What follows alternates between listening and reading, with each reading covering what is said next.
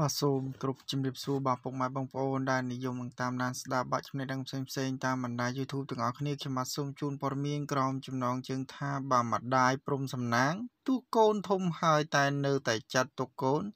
បាទជាកូនក្មេងចំណែកព្រំសំណាងក៏ធ្លាប់ឆ្លៀតទម្លាយកំហុសខ្លួនថា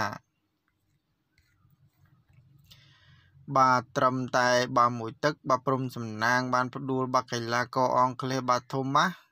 Carter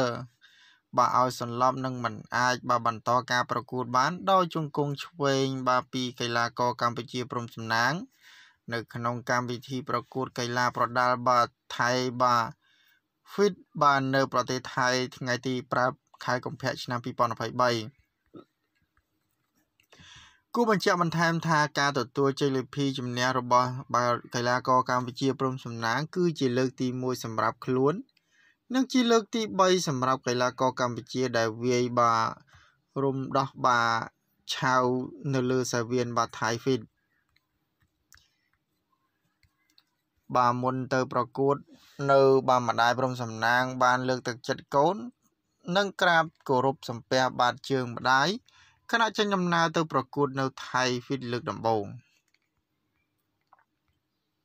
បាទដូច្នេះព័ត៌មានគឺមានតែប៉ុណ្ណឹងដើម្បីកុំឲ្យបងប្អូនរងចាំយល់សូមមេត្តា Subscribe និង Like ទៅកាន់ Channel របស់ខ្ញុំបានដើម្បីទទួលបានព័ត៌មានថ្មីៗបាទសូមអរគុណសូមជម្រាបលា